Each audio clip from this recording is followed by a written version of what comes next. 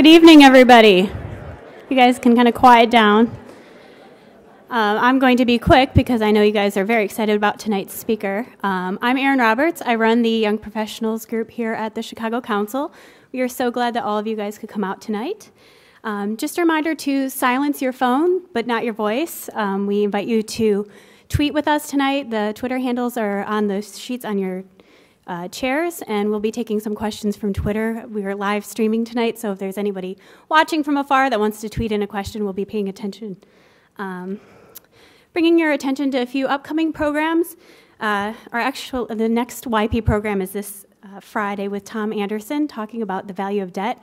Fortunately, it's sold out, but we are running a, a wait list for it. So, um, on April 17th, we have Wendy Kopp from Teach for America, and there's a special promotion for young professionals. If you use the code EDUCATION, you can attend for free.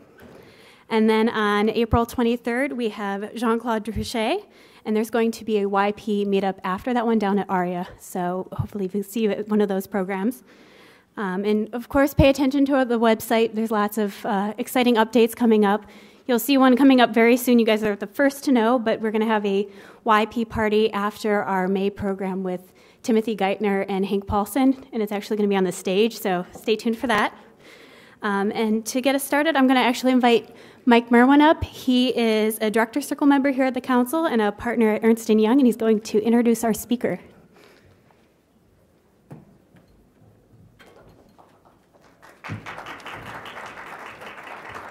Thanks, Erin. It's a pleasure to be here this evening with, for the council and the Young Professionals Group. It'd be a bigger pleasure if I still qualified to be a member. uh, but it's a great honor nonetheless to introduce an impassioned young man also, uh, Matt Taibbi, for a discussion about wealth gap in America. By many different economic measures, the wealth gap in, or income inequality around the world and in America has been increasing dramatically. The World Economic Forum identified income inequality as a major global risk over the next decade, and we're already seeing the effects in social unrest in many regions of the world. Here in the U.S., we have an all-time low percentage of wages as total U.S. income, while corporate profits are at a peak. And in Chicago here, we're a microcosm of these world and U.S. events. Chicago recently rate, rated eighth in income inequality amongst 50 cities in the US, according to a Brookings Institute report. So, with those kind of events in the background, we're very fortunate tonight to have Matt here, fresh from his daily show report, to share with us his thoughts on income inequality in the US, its factors, and what we can do about the wealth gap in America. So, please join me in extending a warm Midwest welcome to Matt.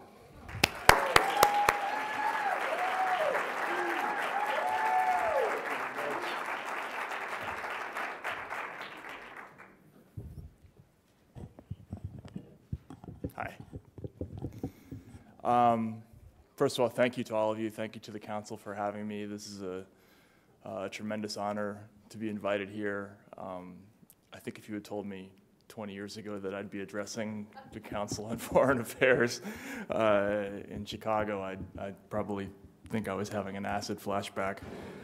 Um, and also the size of the crowd is, is really impressive. It's funny, a couple of weeks ago I, I also did a speech, and um, before I went up on the podium, I, I asked the moderator, I said, wow, how did you get so many people to come here? And he says, oh, we told everybody you were Ben Bernanke. so, so if you're expecting somebody else, I'm sorry, uh, but, um, but I'm happy to be here. So um, Again, as, as alluded to, the subject tonight is uh, income inequality, uh, and in particular, uh, another kind of inequality, which is criminal justice inequality, which is what I've been spending the last two or three years working on uh, fairly extensively. And there's really no way for me to kind of delve into this topic without talking about my own personal journey to getting to cover uh, this particular issue. Uh, because five or six years ago, I was basically just a regular campaign trail political reporter uh, whose job it was to make fun of politicians for a living. Um, I had absolutely no expertise in this area. I knew, knew nothing about Wall Street, uh, couldn't balance my own checkbook, um, and didn't really know what I was doing. Uh, but I was sort of forced by accident uh, to end up in this area. And it all started really in the summer of 2008, uh, and I can actually pinpoint the date. It was September, September 3rd, 2008. Um, a lot of you actually remember that day because that was the day that Sarah Palin gave her famous speech at the Republican National Convention. Does everyone remember that speech? Yeah? Can we show of hands how many people remember that, that day? So I was there that day with all the other campaign trail reporters, and uh, I remember uh, watching this speech, you know, with fascination and thinking to myself, this, um, this, is, this person is going to be an important factor in national politics, and I'm trying to think of all of the cliches that would that I would use in my, you know, sort of boilerplate political analysis of what had just happened. And I went back to the filing room, which, if there are any journalists in this audience, the filing room is basically always this windowless cage where they shove the reporters uh, after an event, and they that that's where you go to write your story. And I'm I'm sitting in the filing room, and I'm about to start writing about Sarah Palin, and I start surfing the internet, and I see all these headlines, these sort of obscure, um, uh, very vaguely written uh, news articles about how the international economy is on the verge of total collapse. And we may be heading into a depression, the likes of which none of us have ever seen before, uh, but nobody could really explain in any of these news stories what the actual causes were uh, of, of, the, uh, of the crisis. And I remember um, very clearly looking at the reporter who was sitting next to me, um, and I'll, I'll leave him nameless, but I'll just say that it's a, it's a well-known person who works for an East Coast daily newspaper. Uh, and I, I, said to this person, um, hey, have you noticed that, you know, like the world is ending? And, uh, and I said, um, Do you understand any of this subprime stuff? And he looked back at me, and this is, I'll never forget this. He goes, like that. Like that, that was his response. That was the cream of the American press corps' response to uh, the subprime mortgage crisis. Uh, it just, it wasn't worth looking into. Uh, basically, political reporters have one way of covering the economy, or if unemployment's down, that's good. If the stock market's up, that's good. Uh, and if it's good news, we say we congratulate whoever's in office, and uh, then we go to the other party for a comment, and they talk about how this, the statistics are lies, and then we just sort of write that up and throw that out there. And that's, that's the extent of how we covered, covered economics. But I was very bothered by this moment because it occurred to me uh, that, among other things, Sarah Palin's speech was all about the economy, or a lot was significantly about the economy, which was imploding before my very eyes, and um, I knew nothing about it. And uh, even though it's normal in journalistic circles to pretend to be an expert about things we, we know absolutely nothing about, um, I decided, sort of on my own, to start investigating what was going on. And I, I, had terrible trouble trying to understand uh, what the subprime mortgage crisis was about. None of the news articles really put it in clear language. Uh, and I I took out all these, I bought all these books on economics. I read everything from Hayek to The Wealth of Nations to Milton Friedman to, uh, and I called up economists and spoke to Wall Street analysts, and none of them could make any sense of it for me. It didn't, it didn't uh, register at all. And then finally, I found this guy on the internet who basically wrote, he made cartoons uh, about banks. Um, that was his hobby. In his day job, he was actually a trader for one of the biggest banks in, in, in the world, uh, but he wrote these very nasty cartoons about, about the business. And I asked him, like, look, I'm at the end of my rope, can you help me? Uh, he took me out to lunch. And I explained to him my dilemma, and he says, Your problem is that you're covering this as, as an economic story. This is not an economic story, it's a crime story. Uh, and he started to explain to me, and without going too far into this, because this is sort of a little bit far afield of the topic of the evening, basically, the subprime mortgage crisis ha had its roots in changes in the mortgage markets. In the old days, uh, you know, a bank would only lend a mortgage to someone who was a good credit risk because that bank was going to be holding on to that loan. Uh, what happened prior to the last crash was they, the new innovations had, had come around that essentially allowed banks to transfer that risk uh, onto investors. So instead of lending to one person, they would lend to a thousand people. They would take those thousand mortgages, they would put them in a pool, they would chop them up, make them into securities, sell those securities to inv investors who very frequently were institutional investors like pension funds or foreign trade unions or hedge funds or whoever. Basically, they were taking, uh, they were going out and giving mortgages to everybody with a pulse, uh, making these pools of mortgages, uh, chopping them up into securities, and then they were using these new innovations like collateralized debt obligations, um, plus their influence with the ratings agencies to disguise the poor quality uh, of these mortgages, um, which they would then sell, uh, immediately sell off to their investors and to their clients.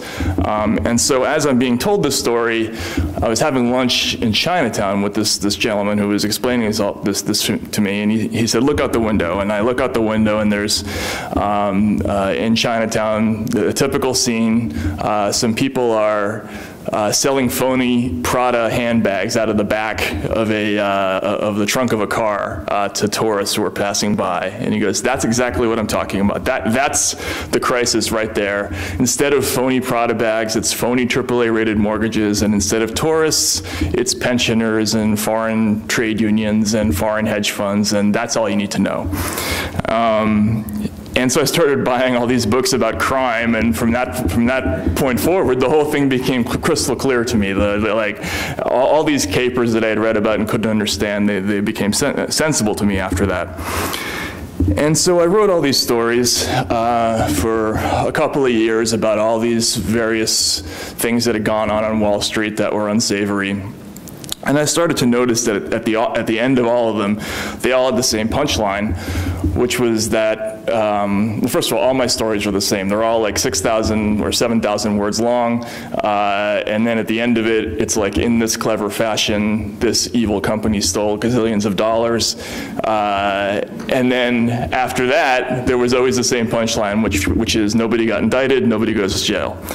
And I started to become very troubled by that. Uh, how is it possible that none, none, of these people are being prosecuted for what turns out to be uh, a common crime? And the reason, again, I, I, started off with that story is, is to point out the fact that this is not some, it was not a mere technical violation, it was not overzealousness, these, this was just common, ordinary, garden variety crime. It was just done on a scale that none of us had ever seen before, uh, and it was done in a way that was much cleverer than most of us were used to seeing.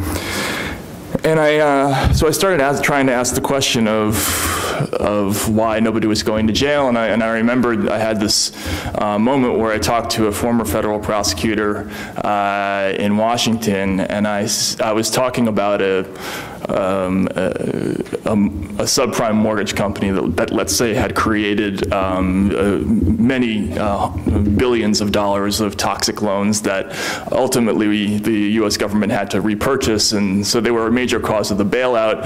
Uh, but the, the, the CEOs and the officers of this company um, did not face. Not only did they not face uh, any criminal penalties, but they got to keep all of all of the money that they made during this period.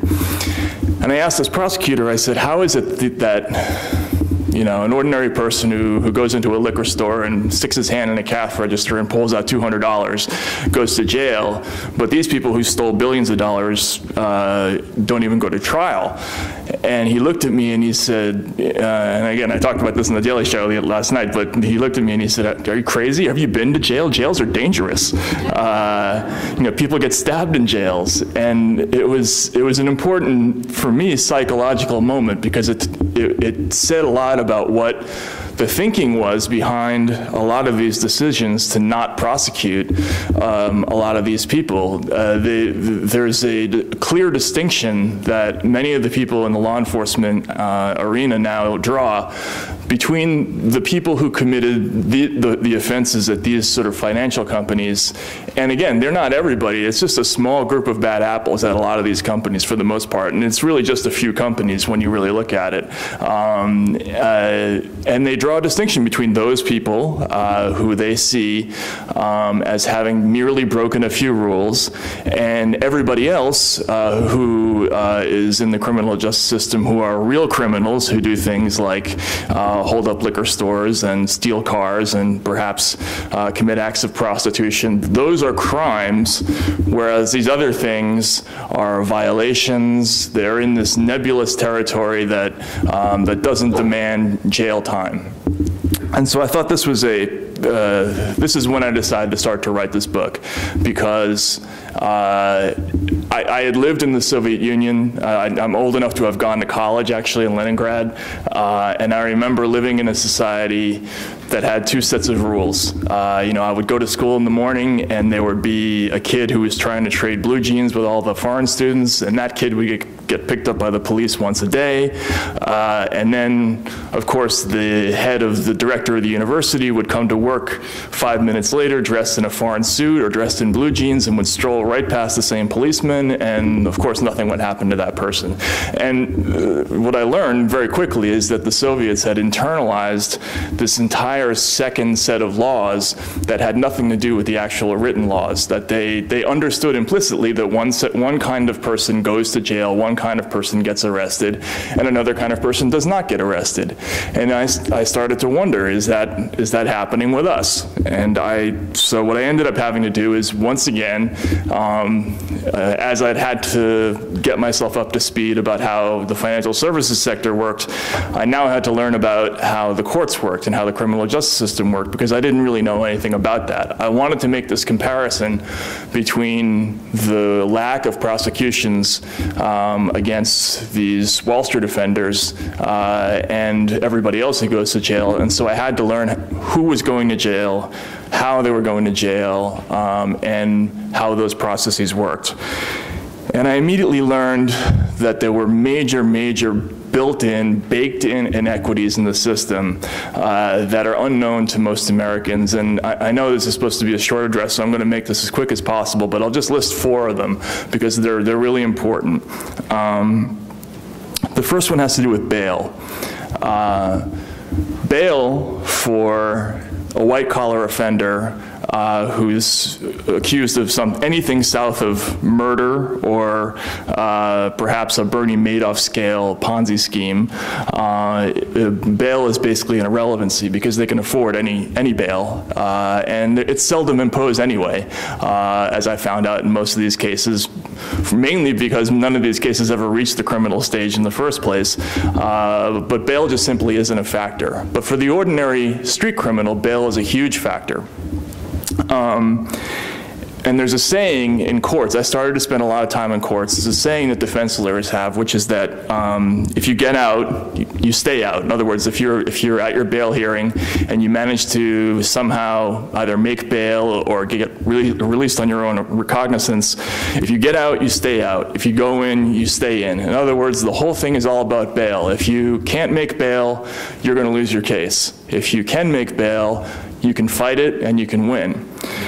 Um, judges, that there's also a thing, a phenomenon that I discovered called nuisance bail, uh, which uh, turns out that if you go to a lot of these uh, courtrooms, you'll find that there's a lot of questioning about how, how much uh, the defendant on trial uh, what is what kind of assets he or she may have, and the judge uh, may consistently impose what they call nuisance bail, which is just enough money that the person can't afford and, and too little for a bail bondsman to be interested in lending. Uh, so there's a sweet spot uh, that, that the criminal justice system has organically discovered uh, that where if a judge uh, decide, and the prosecutors decide that they definitely want this person to spend their, to wait in jail to go to trial, uh, there's a number that they can pick out uh, that at 90 or 95% of the time is going to result in a person going uh, and sitting uh, in a jail cell waiting, waiting for trial. But the most uh, insidious thing that I learned is, is this trick uh, that is used in many different states uh, to evade the speedy trial laws. Does everybody here know about the speedy trial laws, the speedy trial rules? Um, well, for instance, in New York State, if you are charged with a misdemeanor, um, uh, officially they're supposed to bring you to trial or or somehow dispose of your case within 90 days. Uh, so you shouldn't, technically, you shouldn't be waiting in jail for, for longer than 90 days. But But the prosecutors have found um, a kind of leprechaun trick uh, that allows them uh, to evade uh, this, this restriction. And what they do is when the person has his, his or her first court date, uh, they will show up in court and they will tell the judge, Your Honor, we're sorry, but we're not ready to proceed today. And typically this is because they can't find a witness or the evidence isn't strong enough or whatever. Uh, the judge, whose calendar is always uh, you know, overstuffed and he doesn't have any time uh, for the next six, seven, eight weeks, uh, he says to the prosecutor, well, okay, in that case, let's reschedule for two months from now and uh, we'll, we'll see you again uh, at that point. Uh, the defendant, of course, is horrified because now that means he's going to have to wait in jail for another two months at least before something happens with his case. But the really insidious thing is what happens the next day. The prosecutor then files to the court a thing that he, that, uh, he or she calls the, a certificate of readiness, uh, which basically says that while we were not ready to proceed yesterday, we are, in fact, ready to proceed today. Um, so if there was an opening on the calendar, we could proceed today. But of course, there isn't an opening on the calendar. There won't be for the next six, seven, eight weeks. And so the judge, the court, will only charge the prosecutors one day. Uh, towards that 90-day speedy trial limit, um, as opposed to uh, you know two weeks or six or seven weeks. And so, in this fashion, there are people who are who await trial for misdemeanor crimes for a year, a year and a half, two years, more than two years, uh, and of course, many of these crimes, the actual sentence, if you were to be convicted, is far less than the amount of time that you would spend waiting to have your case heard. And what happens? Uh, the prosecutor, as soon as they achieve this little trick, they will go back to the lawyer representing the defendant and they will say, well, how, how would you like to take a plea uh, for time served plus 10 days? Uh, and nine times out of 10, maybe even more than that, the defendant will accept that deal uh, because the alternative is, is, is unknown. It, you know, it, you, you have no idea how much time you might spend uh, waiting in jail to fight it out. Um, and so this trick essentially means that uh, all you have to do to win a case against a defendant who, who, doesn't have enough money to bail himself out of jail is make sure that you survive the arraignment and that the charges go forward. And, and this is a powerful weapon that prosecutors have all over the, all over the country, uh, and not many people know about it. And it's not a factor, again, with white collar offenders. Just to give you an example of how much it's not a, a factor with white collar offenders, there was a famous case uh, back in the mid 2000s called Gen Re. Um, and this was back when, uh, if you remember, Eliot Spitzer had uh, uh Hank Greenberg, the CEO of a AIG, in his sights. Uh, this was the biggest corruption case in all of Wall Street. Everybody was watching this case, and it was a, it was a stock fraud case that involved those two companies, AIG and, a, and a, another company called General Reinsurance. The prosecutor's strategy in this case was to go after the people from Gen Re, uh, and what they wanted was to convict uh, some of the mid to higher level executives of that company, uh, and then have those people roll on the real targets, who were the high level executives at AIG. Um, but they were in, they, they did not succeed in doing this for a number of reasons. First of all, um, none of them uh, had to spend any time waiting in jail for, for, for trial Uh, they, each time um, the, the question of bail came up, uh, they all had hundreds of people show up in court. They had people tell the judge that, you know, Your Honor, this person wouldn't even jaywalk, uh, much less commit a crime, even though the, the, the, crime that the person was accused of was a $750 million stock fraud. Um, the judges listened to these appeals, but most importantly, um, uh, even after the state eventually won convictions against five uh, lieutenants in, in, from General Reinsurance, the judge allowed them all to stay out of jail pending appeal. Um, so not only was bail not a factor, conviction was not a factor for this kind of defendant. And this completely undercut the leverage, any leverage the state might have had in going after the real targets. Uh, and of course, that, that prosecution never proceeded. Uh, subsequently, due to a ridiculous technicality where the judge basically got his dates wrong, uh, all five of those defendants were released on a technicality. And so nothing happened in that case. Uh, but, a, but a key factor was this whole idea of this kind of person, this, you know, the, the, this pillar of a suburban community who's never been caught jaywalking before, we can't have that person waiting in jail for, for a crime that he may or may not have committed. That's not right. And the judges repeatedly, over and over and over again, make that decision. Yet when they're looking at another kind of offender, it's just by the book. They don't even, they don't even look up. Uh, you know, it's, they, they announce uh, an amount of bail and the person goes in, and if he goes in, he stays in. The next issue that's crazy is repeat offenders. Um, there's no such thing as a, as a second chance for a, a, certain kind of offender.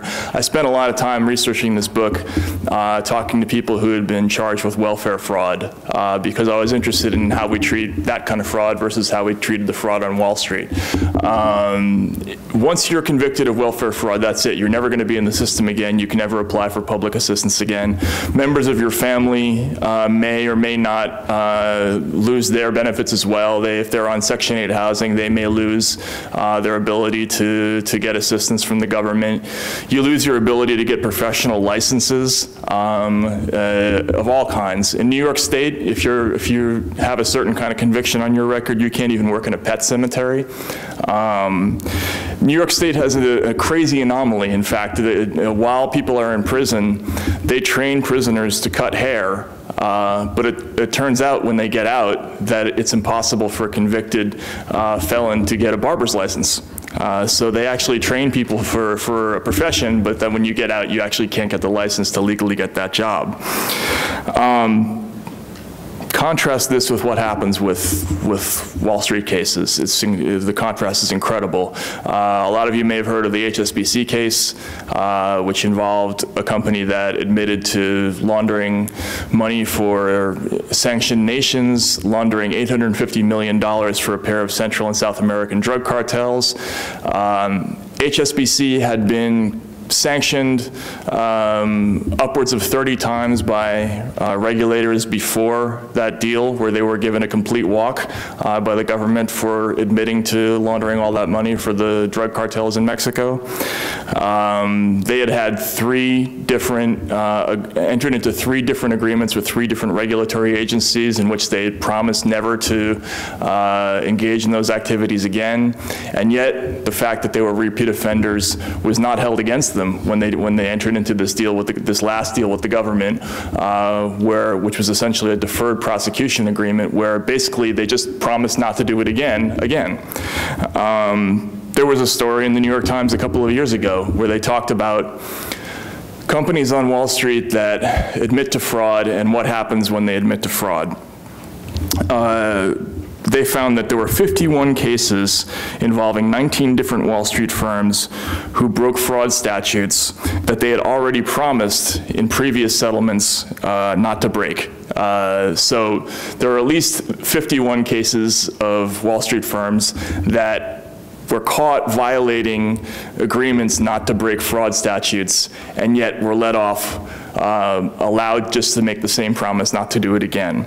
Um, an, an, example is Citigroup, which in, two, in, the year 2011, they paid a $285 million fine to settle fraud charges, but they had been sanctioned for breaking exactly the same anti-fraud uh, statute in the year 2000, in the year 2005, in the year 2006, and the year 2010. Uh, and each time they were allowed to get off just by making the same promise not to do it again.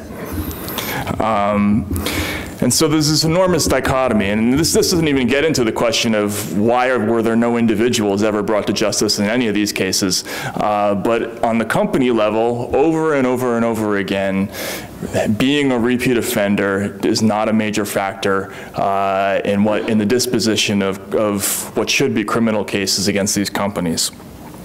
A third thing is fraud uh, and the attitude towards fraud.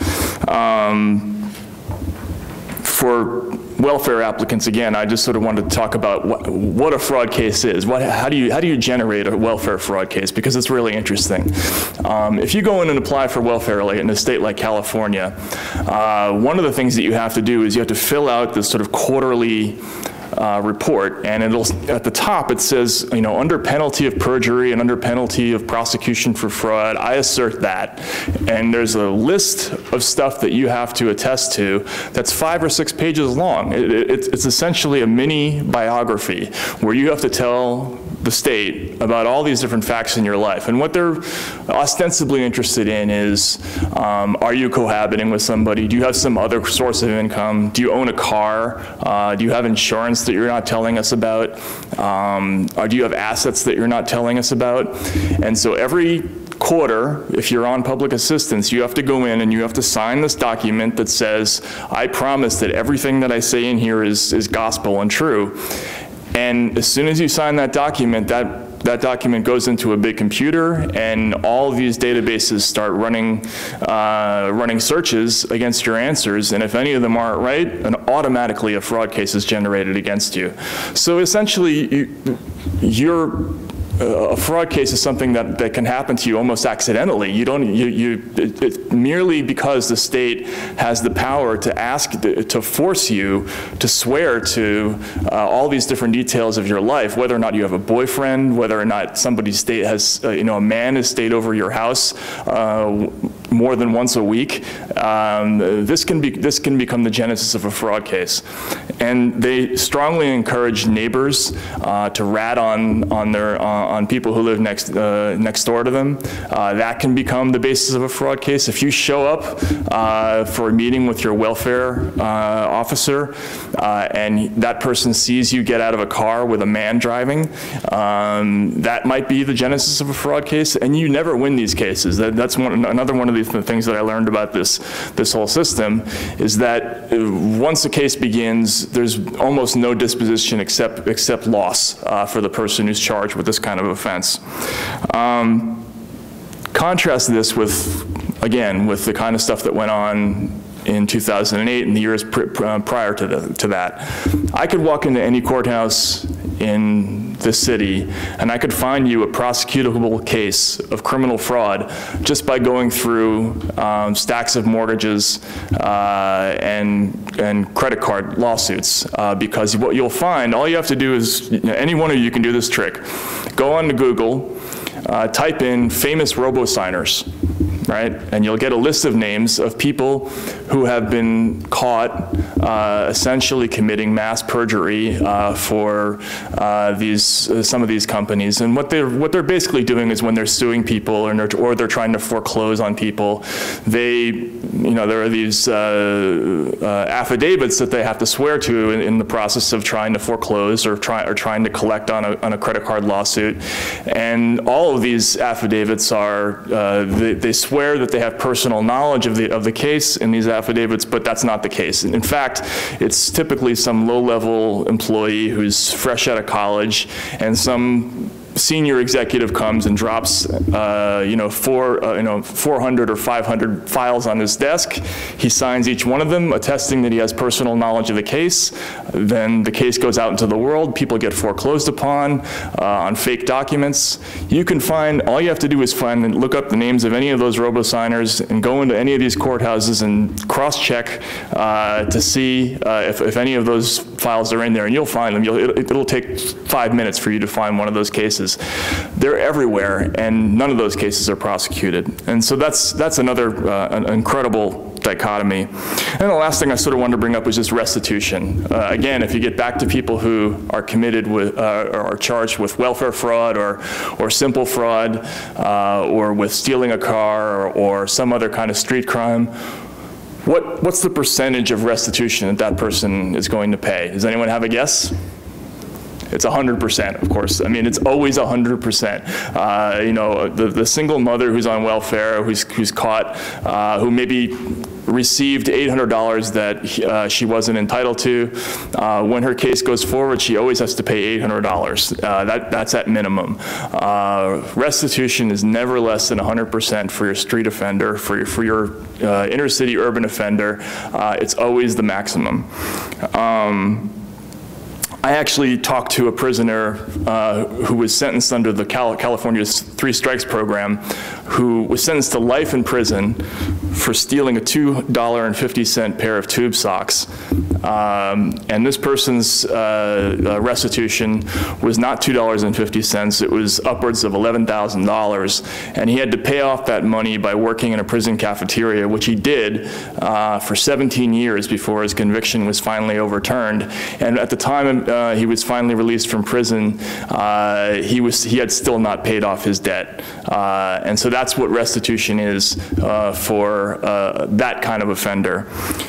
But think about the restitution, think about the kinds of settlements that we've seen recently for other kinds of offenders, for uh, UBS, uh, which was given a, a $1 billion settlement, uh, one plus billion dollar settlement for its involvement in the LIBOR scandal. HSBC, uh, $1.9 billion for uh, its role in the money laundering scandal. Uh, Chase for a whole smorgasbord of stuff that they did that was, you know, apparently, um, you know, uh, under the table. They got a 13 billion. Just one settlement was 13 billion dollars last year. They had, they paid 20 billion dollars in fines total, but if you see $1 billion in fines for any of these companies, you can guarantee that the profits were $30 billion, there were $50 billion, and the same thing is true with pharmaceutical companies, with other kinds of companies.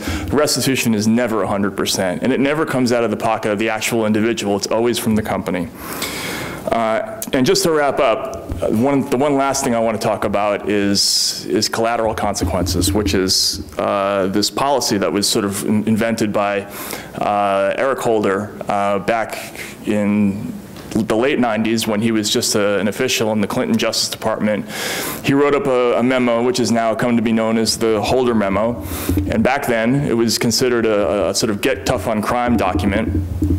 This memo uh, gave prosecutors all sorts of interesting tools to go after corporate offenders, and uh, in fact, it, enabled uh, a number of really interesting prosecutions in the early Bush years. But at the end of the memo, it also laid out this policy called collateral consequences. And what collateral, collateral consequences said was when you're, when you're thinking about prosecuting a big company that employs a lot of people, that is economically and systemically important, where there may be innocent victims, shareholders, shareholders, innocent executives, um, people who didn't, who weren't involved in the crime, you may consider other remedies uh, besides criminal prosecution uh, when you're looking at that company. It basically just gave, it just gave prosecutors permission to not proceed with a criminal case.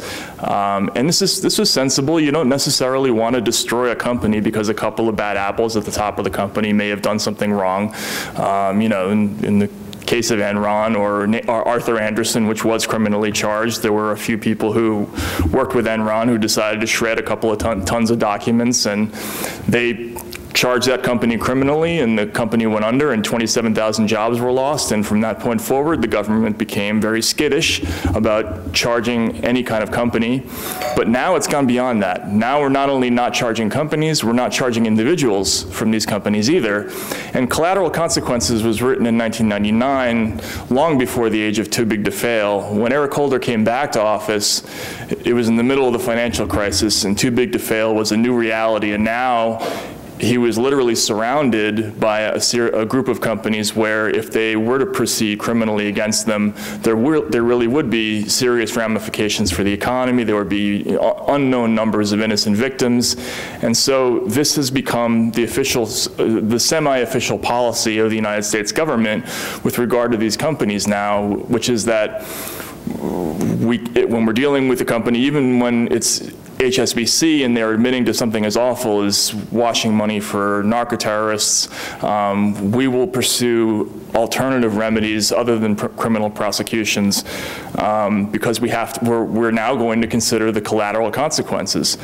Now that policy in a vacuum, it makes a lot of sense, but there's two big problems with it. The first thing is it should only happen once.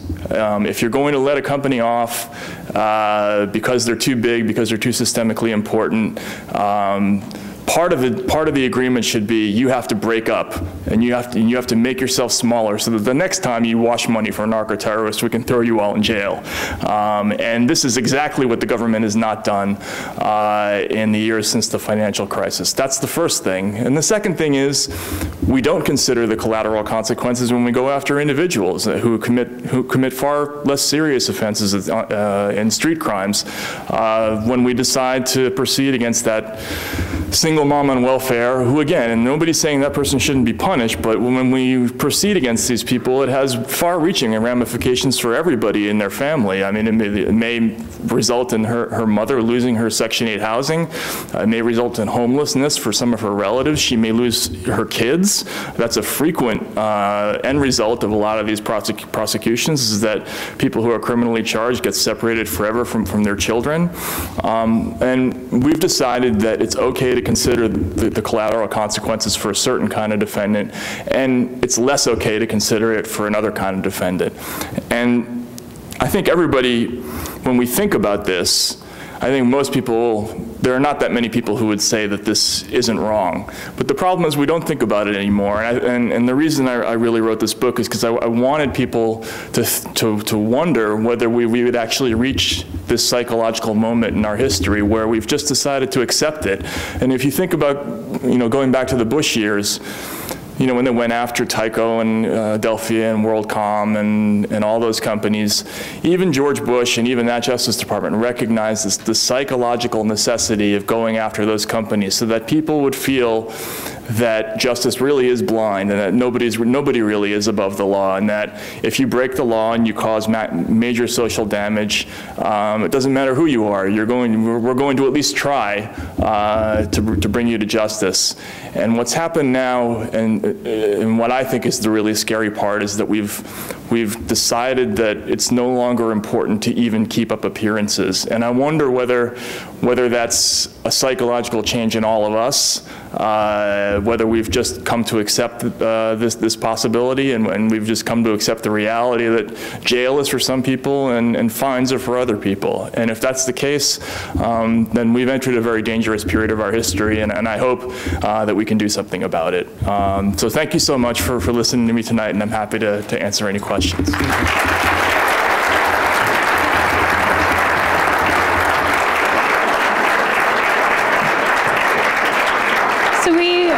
Open the floor to your questions. If you can raise your hand and just wait for one of my colleagues to bring you a mic, that would be great. So does anyone in the audience want to kick us off before we turn to Twitter? All right. Oh, over here. Okay. Um, right here in the front, there's a, a gentleman with the pink tie, and then we have another one right next to him.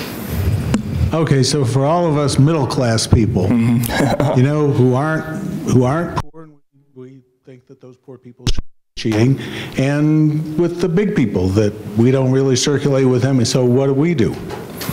Well, I, I just think that, well, first of all, uh, I, I, think this problem applies to everybody. I mean, I, it, whether you're middle class or not, um, you know, one of the chapters in my book uh, talks about a, uh, a, saxophonist in New York uh, who got caught up in the stop and frisk policy and uh, was severely beaten by police. In the old days, they would never have gone after that kind of person before. They would never have made that kind of judgment. but this statistics-based policing policies that we're seeing now, they're running out of people uh, to, to arrest. And so they're expanding the kind of person uh, who is becoming a target for these sort of frivolous arrests. There's a sort of epidemic, what they call it, in, some, in, in, Baltimore, they called it an epidemic of false arrests. And so you're starting to see all these people uh, busted for things like riding the wrong way down a sidewalk, uh, carrying an open container, um, uh,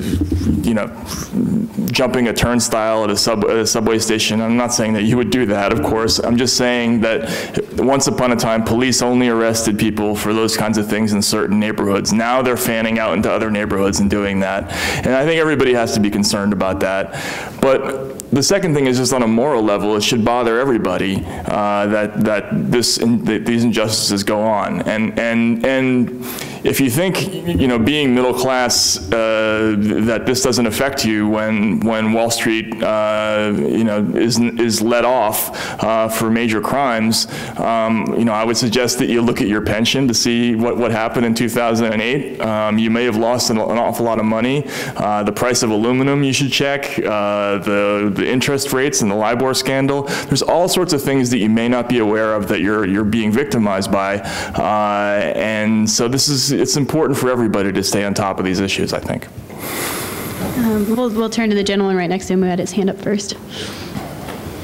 Stephen Graham from California. Uh, do you think that the Blackstone securitization, Blackstone bought 38,000 houses, and they're now taking all of the rentals and securitizing them and selling those as individual debt? And do you think there's a possibility of the same kind of fraud arising in the Blackstone situation?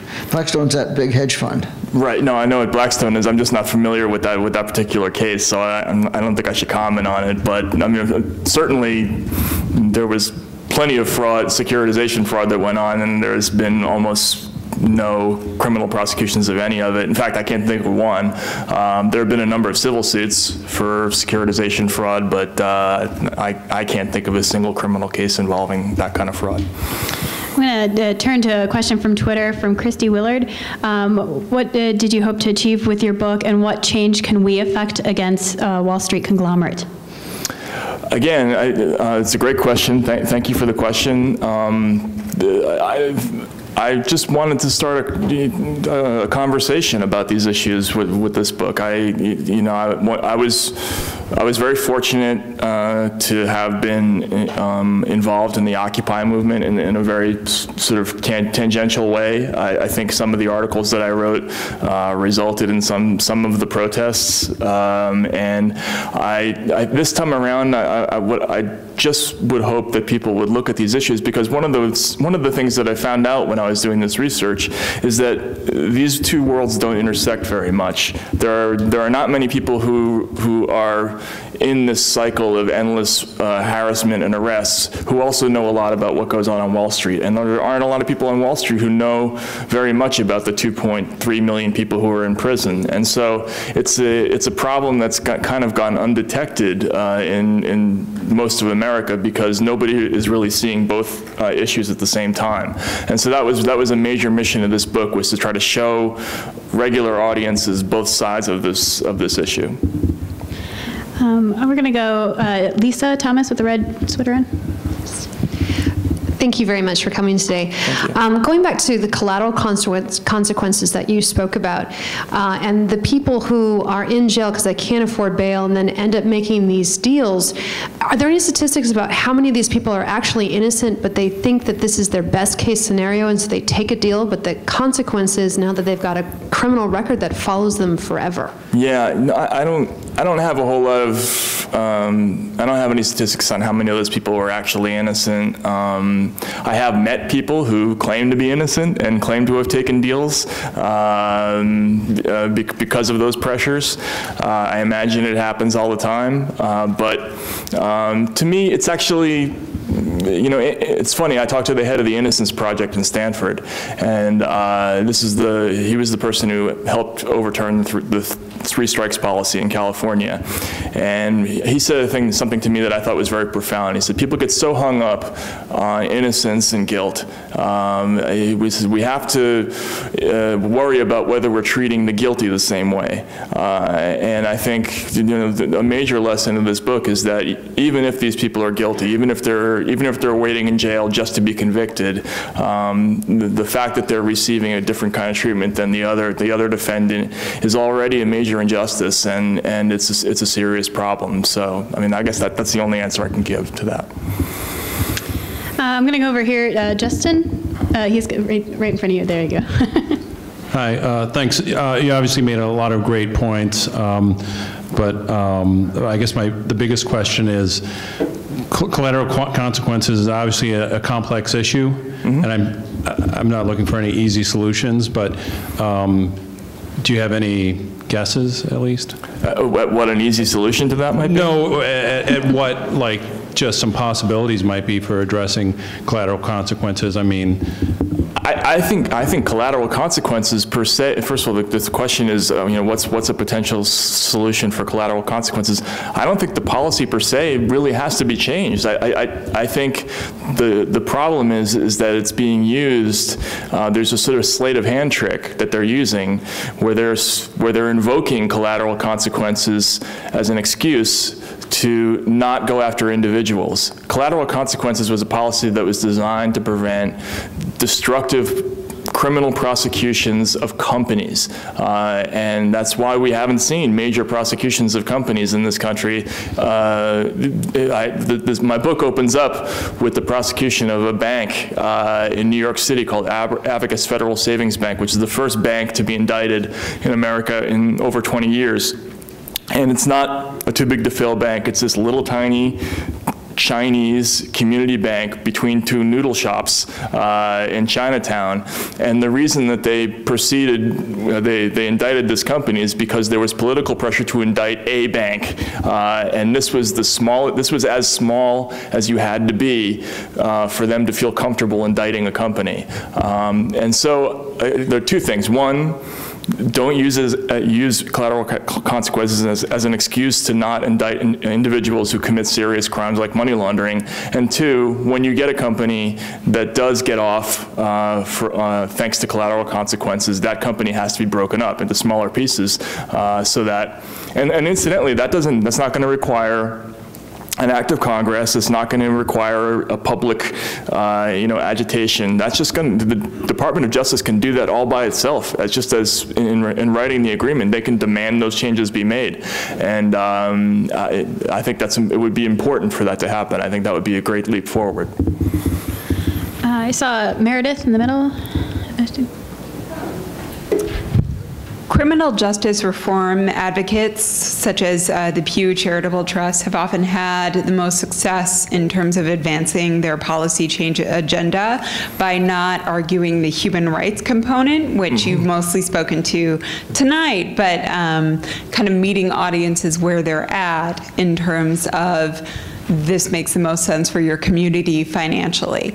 Um, how did you grapple with that in terms of writing your book? And do you maybe feel that as a journalist, it's your responsibility to tell the human side and let nonprofits or other advocacy groups you know, argue that financial, shore up that financial argument? So that's a great question, and I and, and I get that question all the time. And and and uh, a typical way that that question is posed is, um, you take such issue with the HSBC settlement, but the government got 1.9 billion dollars in that settlement, and think of the good that you can do with that 1.9 billion dollars. Um, would you really rather see one of the executives from that company go to jail? Uh, would that do any more good uh, than, than getting $1.9 billion? Um, and that's that's a legitimate question to ask. That's that's certainly not a, a, a, silly question, but it's not a pragmatic issue for me. This is a moral issue, uh, and the, and it's a moral issue because if there's one group of offenders um, that is able to escape jail simply because they or their company has the capacity to pay a big fine, while another group of offenders has to go to jail because they don't have that capacity, then justice no longer works.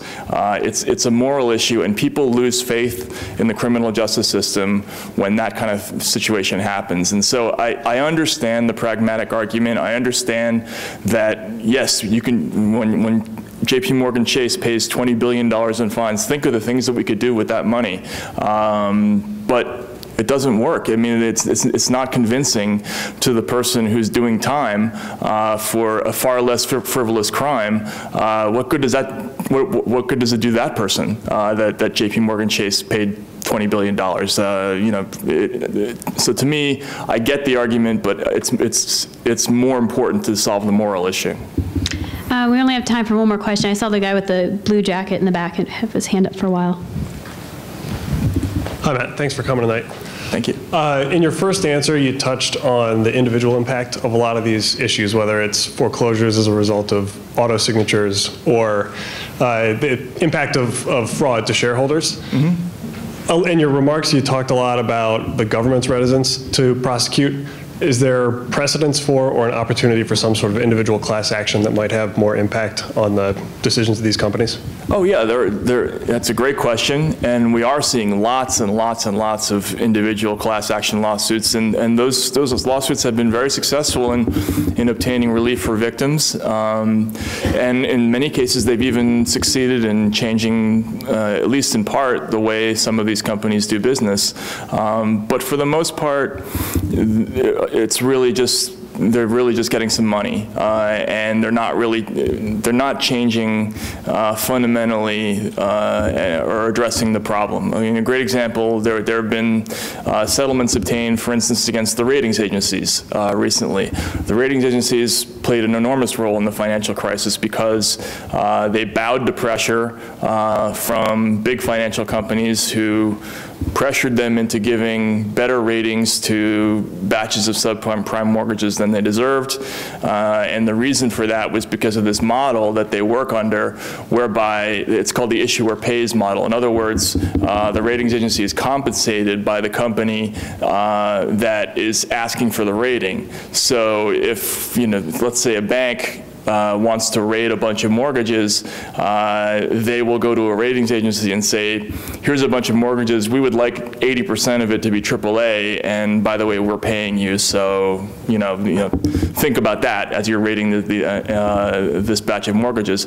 Well, a lot of people sued, a lot of towns and cities sued the ratings agencies for their role in in helping convince some of these communities to buy fraudulent batches of, mor of mortgage-backed securities. Um, but the, there still is an issuer pays model on Wall Street, and the rating, the, these agencies still make their money the same way. So uh, while there have been a lot of class action lawsuits that have targeted these companies and that have obtained a lot of relief for individual victims, I, I would say that in, in most cases they haven't been terribly effective in, in, in affecting change. Well, I hope you guys will all join me in giving Matt a round of applause and a very big thank you. Thank you very much. Uh, we actually we have a thank you for you. I see that you wear a lot of hats in a lot of your photos, and, and so we have a Chicago Council hat, which invites you to have a global affair in the back. That's awesome. thank you. We actually drew two names out of the raffle for tonight that will win free hats. Those went to Hitesh uh, Bawada and Renata Johns. And the winner of the uh, complimentary copy of Matt's book with a pass to go to the front of the signing line is Sean Harder. So thank you guys for coming out tonight. If you guys uh, won something, you can get it up at the uh, signing desk. So we'll see you at the next program. Thank you so much.